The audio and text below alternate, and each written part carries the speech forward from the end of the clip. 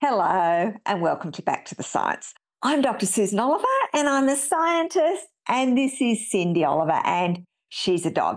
And we're no longer sitting on the floor. My lounge suite has been recovered, although we are still waiting for some new cushion covers to arrive to complete the look.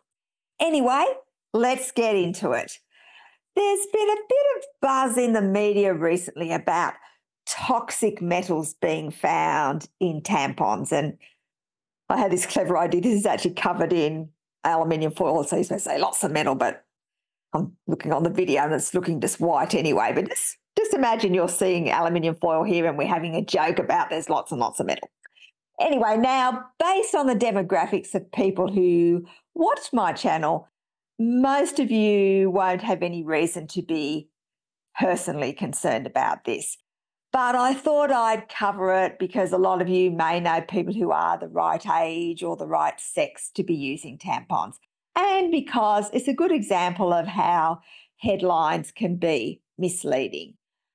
But let's have a look at a few of the headlines. CNN said tampons contain lead, arsenic, and potentially toxic chemicals. Studies say. Here's what to know. The cut said, Why are there toxic metals in my tampons? And CBC News said, Alarming study finds toxic metals in tampons. Scary stuff. So let's have a look at the study that has prompted all these scary headlines. Here it is here tampons as a source of exposure to metalloids, with the loids in brackets. Now, just before we go on, for anyone who doesn't know, a metalloid is an element that has some properties of a metal and some properties of a non-metal. And some commonly known metalloids are arsenic and silicon. Back to the paper. Given the title says tampons are a source of exposure, you would think that the study determined how much of these metals you would be exposed to if you used a tampon. That's not what they did. The authors made no attempt whatsoever to determine how much of the various metals you would be exposed to. What they actually did was determine the metal content of the tampons. And the way they did this was to cut off a bit of the tampon and use a technique known as acid digestion to completely dissolve the tampon material and then determine the metal content of the subsequent solution with inductively coupled plasma mass spectrometry. Now, this is a well established technique for determining the level of trace quantities of metals. I've actually used it to determine the proportion of silver nanoparticles taken up by bacteria cells. Acid digestion uses highly concentrated nitric acid at high temperatures to convert organic matter into carbon dioxide and water, and to assure that all metals present in the substrate end up in solution. And the reason they use nitric acid as opposed to hydrochloric acid or sulfuric acid is because all nitrate salts are water soluble. And this means all metals will end up in solution. Needless to say, when you place a tampon in your vagina, it doesn't dissolve. It just absorbs liquid and swells. And based on the ads that you see on TV, the liquid it absorbs is blue. But I digress. The authors of the paper have not done any experiments to determine whether or not there is any exposure to the metals that they found in the tampons. Tampons are generally made from either cotton or rayon, both of these substrates contain cellulose. This image shows a structure of cellulose. As you can see, it contains a number of hydroxy groups, which are the OHs you can see. These have a slight negative charge, and this means that metal ions, which have a positive charge, will be drawn to them, making it hard for the metal ions to leach out of the tampon. In fact, products derived from cellulose are actually being developed to remove toxic metal ions from wastewater. The authors of the paper could have done some additional research to determine what proportion, if any, of the metal ions were likely to leach out of the tampons. The pH of the vagina is typically 4.5, which is mildly acidic, but this does increase to 7.4, which is mildly basic or alkaline if you are menstruating, because 7.4 is the pH of blood. The authors could have simply soaked intact tampons in buffered saline solutions at pH 4.5 and 7.4 for, let's say, eight hours at 37 degrees Celsius. They then could have removed the tampons and analysed the concentration of the various metals in the remaining solution. But they didn't do this. But let's for the moment ignore the fact that they didn't determine how much metal, if any, leached out of the tampons. Let's look at what they actually found. Now, a lot of the metals that they found are nothing to worry about. In fact, a lot of them are essential minerals.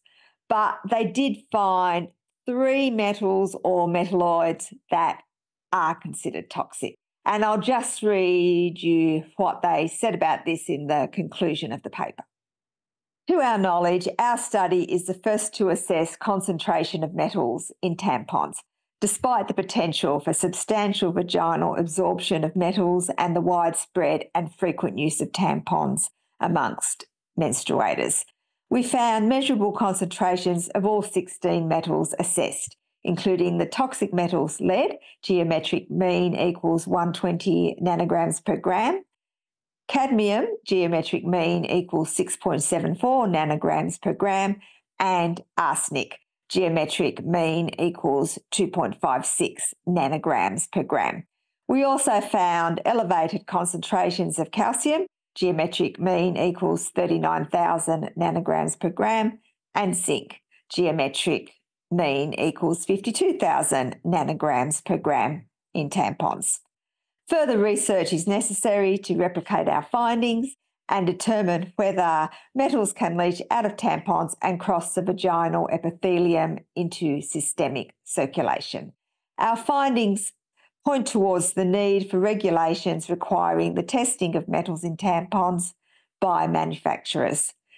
This is especially important considering that we found measurable quantities of several toxic metals, including lead, which has no known safe exposure level. Wow, that all sounds pretty scary.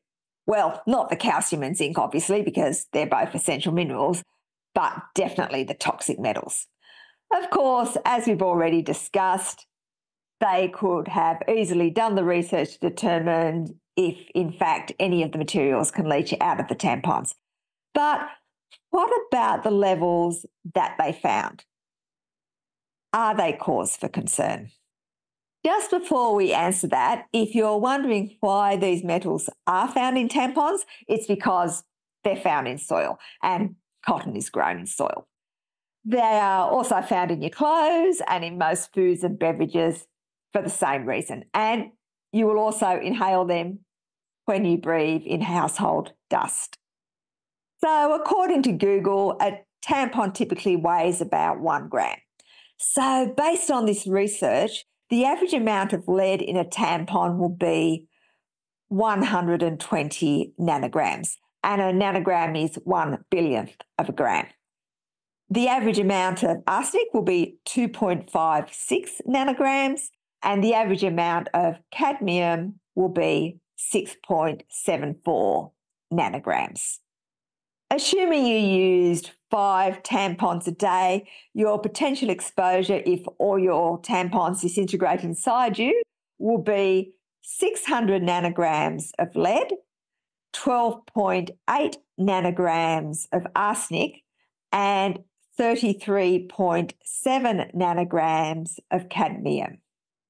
To put this into perspective, the allowable limit of these metals in one litre of tap water, which most people would consume in a day, is 15,000 nanograms of lead, 10,000 nanograms of arsenic, and 5,000 nanograms of cadmium. So, the amount of these toxic metals that you could be exposed to via tampons is a small proportion of what you could be exposed to from just drinking water. And then, of course, there are all the other sources you'll be exposed to. So, in summary, if you are someone who uses tampons or know someone who uses tampons, there is no reason to be concerned. Anyone who tells you is, is talking bollocks. There is no evidence that any of these metals will leach out of the tampons, and even if they did, your exposure level is likely to be considerably less than what you are exposed to from other things you consume and inhale. If you'd like to look further into the data I've presented, I provided links in the video's description.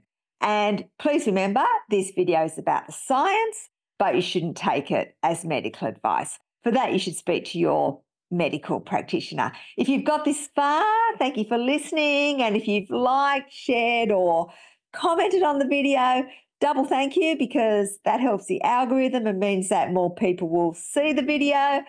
And of course, thank you to everyone who has bought me a coffee or little Cindy here a treat. We really appreciate your support. We will be continuing to make videos about the science in the future.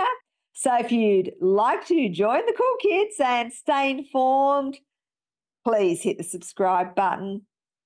Thank you.